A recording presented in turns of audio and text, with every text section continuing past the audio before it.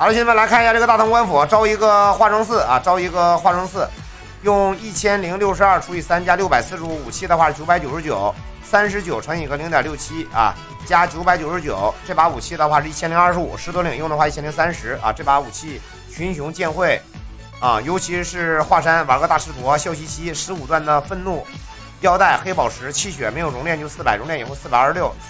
防御九十五不低。破野狂攻啊，一百零六，属性达标，符战够用，破碎加神农，鞋子十六段野兽之力，衣服十六加十加一百九十二，出防三百，双加七十五，熔炼十点，三百一十极限双加，衣服也是十多万。零式的话，三气血，十段行为石啊，二十六速度的双防御血，十段行为石，三伤害，主属性也对啊，三伤害伤害综合爆了一，戒指是四伤害啊，这戒指的话价格就是小三十啊，再加上一个耳饰，这就是四十，四十加衣服就是五十多啊，这个号的话装备。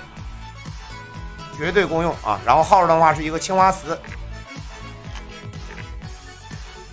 青花瓷号啊，它的神器是不是一百一十二？哎，这号武器是专用的吗？是真的专用还是转的造型？这把武器是不是专用啊？我觉得应该是，应该不是专用，因为专用的话很少有三十一力，所以说这把武器应该是非专用的天花板啊。出其不意一日金鸡法爆，完美技能的八技能出其不意直音牛逼，十二技能善恶。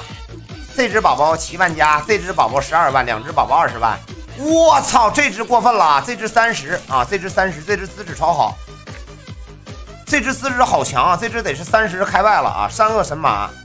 超高资质，这宝宝就五十了。这只的话，差不多是一本力皮兽诀的价格的百分之八十五啊，力皮大概是十四点五，这只宝宝过十了。嗯，这只的话也差不多到十啊，八点五九吧。这只也能卖成五以上了，这只啊随便吧，这只一万多，这两只一万多，八技能的须弥啊，这只宝宝的话大概是十八万以上，四个法术带魔心套或者带高敏套，我选择带高敏，能出手就行，有战敌了不差这点魔心的属性，镜台妙题千速啊，这号确实厉害，这号厉害，这号厉害，这号真不错，这号关键的爽的地方在于它全身装备都不是专用。武器都不是专用，这武器不是专用的话，应该是卖个三十啊，跟汴梁城的那个有点像。